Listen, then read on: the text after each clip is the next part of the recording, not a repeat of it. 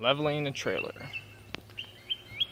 So this thing's 40 feet long and 112 inches wide and it's really important that this thing is level because as you can imagine if you start building on top of it and you're trying to plumb your walls and get everything straight um, you'll be plumbing the walls level and you'll be getting your walls what you think the platform is level but it's not and then you're gonna have crooked windows, crooked walls, everything's gonna be all messed up. So you gotta make sure and get the trailer nice and level.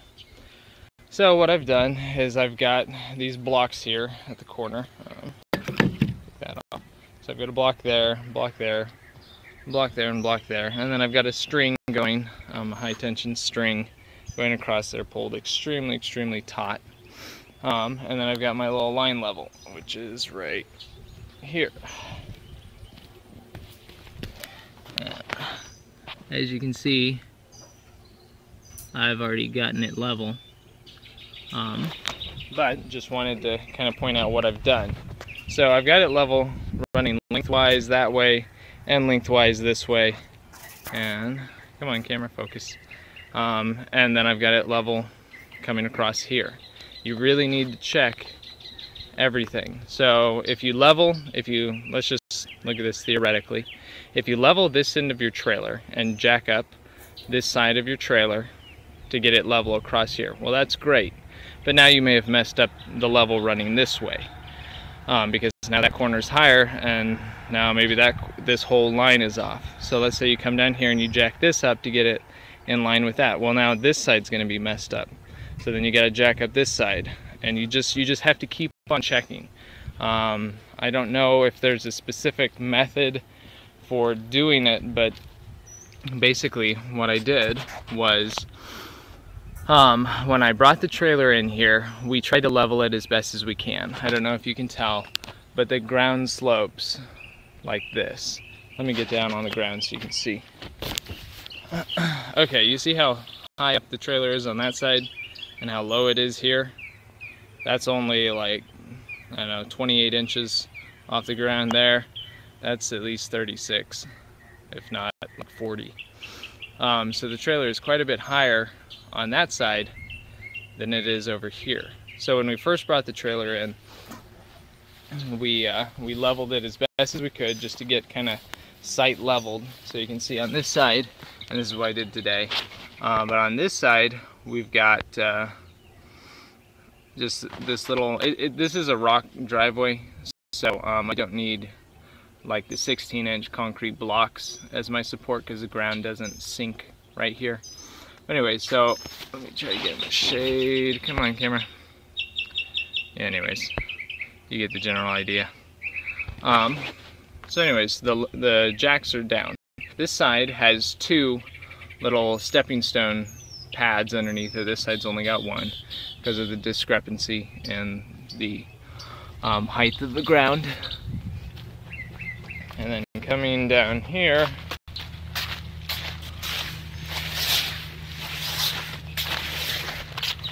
coming down here,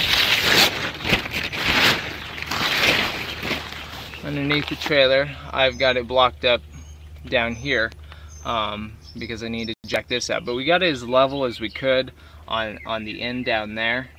But then once I had it sitting here, then I started jacking up this end. So I've got a block there, and then you can't see it, but on the other side of these tires, about another eight feet down, is another block. You can just barely see it over there. Anyways, so I've got those blocks there, leveling it out, raising up this end higher so that it'll be level with the front. That's one thing is it's hard to drop a side down lower. Um, it's easier to raise a side up than it is to drop it because things can only go down so far unless you start digging holes. Alright, so this is all I'm using to level it. Open this up down here. All I'm using is a 20 ton bottle jack, um, a low profile bottle jack from Harbor Freight. That's what I'm using to level it. I don't have two of them, just one. Two might make it easier, but I doubt it. It's been pretty simple. I just set it up on a concrete pad, Um, normally I'd have a block there, but that one. And you can see I don't have it in between this span here jacking up on this because that plate would just bend right up. I've got it right on a metal support piece that's directly connected to this 12 inch I-beam. Um, so yeah, I've got a support there and so all I'm doing is, for those of you that haven't used these, you just tighten up the little whatever, um, bolt down there, whatever you want to call it, and then you just start jacking. And you can see I can raise this up. Alright, you can see that's raised up. I'm gonna let it down. By to let it down, you just twist this to the left counterclockwise. It's just like a standard like uh, floor jack or car jack. Um, so anyways, so you can watch. So once I place my shims under there, what I'm thinking would be level, I let it go. You can see it just dropped down on top of my shims. Um, and so one thing, just really quickly to mention, is like, wow, that's not a lot of support. No, it's not. But if you look, I've got this shim directly underneath here, and also my shim is spanning these. You cannot, like if I were to have this um, shim under here running this way on this concrete block, it would just crack it in half because there's no nothing bearing the weight between here. But since I have this shim bridging these two supports, just think of it like a standard structure house, um, it's not going to crack this middle piece and you know fall down. Um, and then this is a standard cinder block down here. Also, this cinder block has holes in it. Um, you know, just a standard cinder block. And so you see I've got it turned upright like this. I don't have it laying down like that. It's stronger, these blocks are stronger when um, you have this flipped vertically like this. This is okay like that because, like I said, I've got it spanning two of these joints. So I've got pressure running down this membrane and this one. Anyways, just figured I'd mention that. but wherever, wherever you see like, um, I mean, this is a, a, a big steel I-beam. It's got good supports. Um, same on the other side. There's two of these running down the length of the trailer. That's that's good support, but this stuff still bends. Uh, you can't you can't span this kind of a distance and not have slight bending. Um, and and it's not really even so much. Well, yeah, I mean it's it's just bending just slightly. Um, so you've got to you've got to support it. Um, because what I found was I leveled this corner and I leveled that corner and I got it pretty much level here but I noticed right here in the middle my floor is down just a tiny bit when I say bending I don't mean it's like bending a ton but the I-beam had dropped maybe a quarter of an inch yeah probably about a quarter of an inch from the height of this side and that side I mean uh, you know it's a 12 inch I-beam and everything but I'm also going to be building a house on top of this thing so it's just a good idea to block up and support underneath, you know, a span like that. And once this house gets set, wherever it's going to eventually be set, we'll block it up there as well.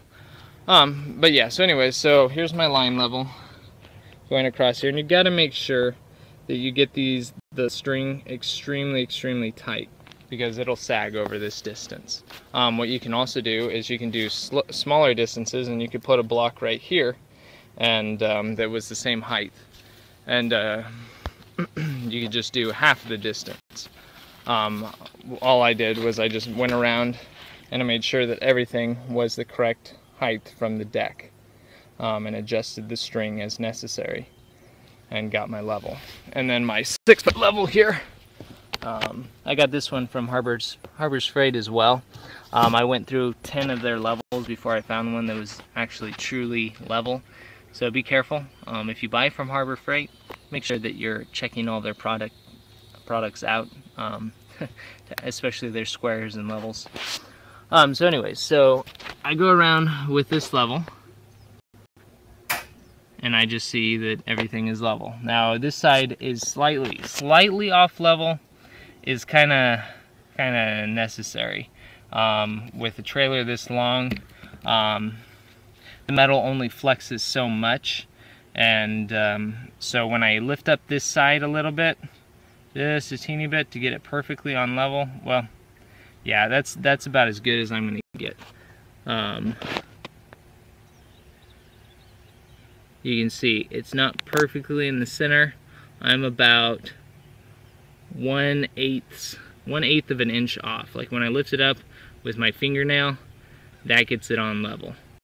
Um, so I'm that's not a big deal. One eighth of an inch over a nine foot span. So you don't have to try to get everything absolutely 100% perfect.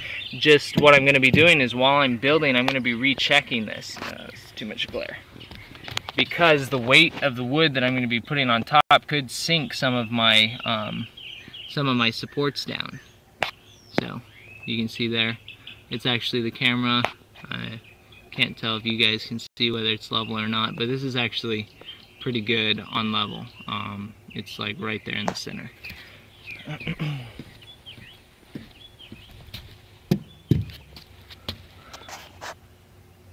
so, yeah, so yeah, anyways, so I just go across and I keep on checking and I already squared this thing up from corner to corner um, before I put the deck on top. So now, the reason why, and you guys may have noticed this, that I'm leaving the deck, the deck on overhanging. You see that? I'm overhanging about 18 inches on both sides of the actual frame.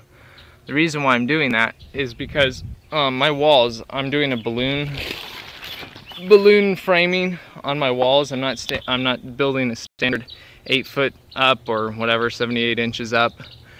And then building my loft on top of that, you know, putting the deck down and building my loft on top of that with my roof above that what I'm doing is I'm building an actual, on this side I believe it's like 12 foot, I don't even remember, it was, yeah I don't even remember. Anyways, it's about 12 foot tall wall on this side and then I'm putting a 2x4 brace running the whole length of the wall and then setting my joist on top of that 2x4 and nailing into the side of the stud and running across the wall anyways, um, once I get to that part, you guys will see better what I'm talking about. So anyways, so my walls are going to be about 12 feet tall. So if I was trying to build my wall on an only 9 foot whatever um, 112 inch deck, um, my wall ends would be sticking off. So if I leave this on, I've got 12 feet of space from one side to the other. Once I build my lateral or my, my long wall, um, then I can just pull it out, saw off my excess and then bring it up and uh, put it right on the edge and get it all plumb and level. But I figured I might as well just keep the excess because this 1 and 1 8 Advantech is so tough and so strong that it's just nice to have um, so I can have more room to build on. Um, so yeah, once I build my walls, then I'll just cut off the excess and put my walls down. And then of course I got this gigantic tarp um, going over it. I think we're supposed to have some rain. Doesn't look like rain right now. It's pretty hot out here, but um, but it might be coming next day or two.